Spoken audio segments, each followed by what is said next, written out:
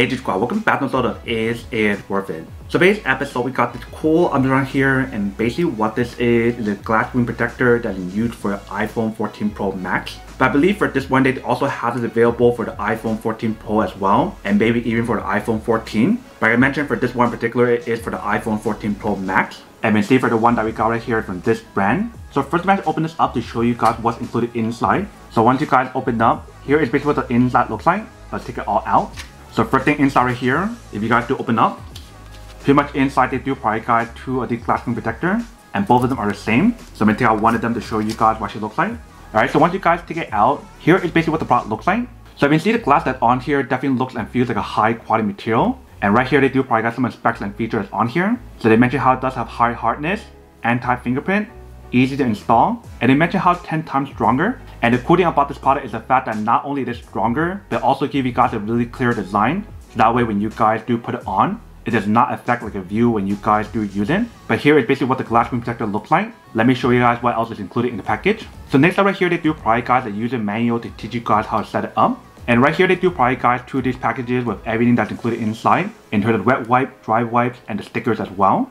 But the last thing inside, you can see they do guys two more stuff. So let's take it out. So right here they do an accessory for you guys to install the glass screen protector. So that way you guys won't have any issue when you guys do install it. And then right here they do guys scraper option that you can use to apply on real easy to push it down when you guys do install it.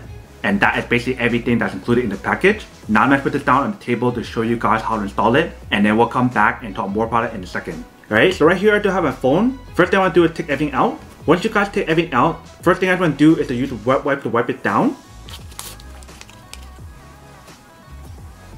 Once you guys finish wiping it, you guys use a dry wipe right here to wipe it. Make sure it's clean and there's no dust on here.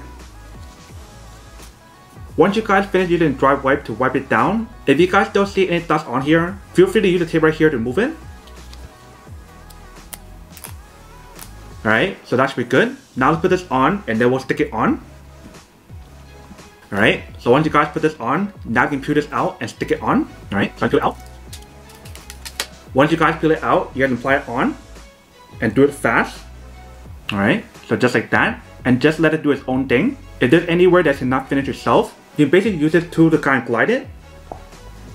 Alright, so once you guys put it on, this is basically what the screen looks like when you guys do activate it. So you see how it does have that always on display on here. So even when you guys do turn it off.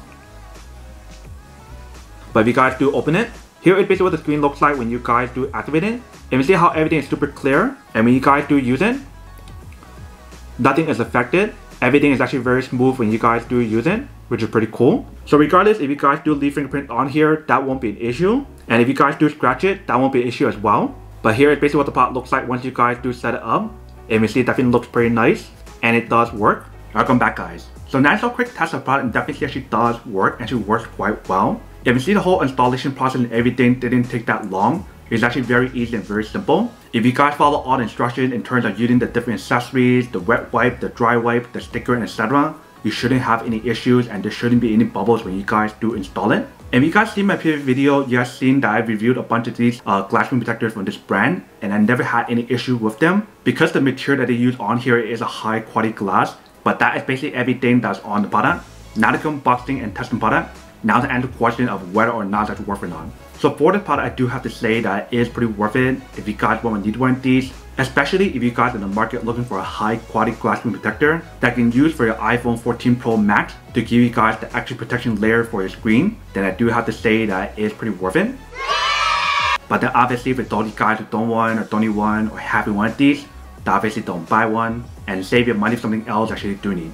So that's basically everything for this video itself. If you guys like this video, make sure to smash that like button in the bottom. That will definitely help this video out and it will definitely help with the algorithm as well to promote more videos for you guys so you guys can see more of the videos or similar videos as well. But as always, make sure to stay positive, be you, and I'll see you guys in the next episode of Is It Worth It? Peace.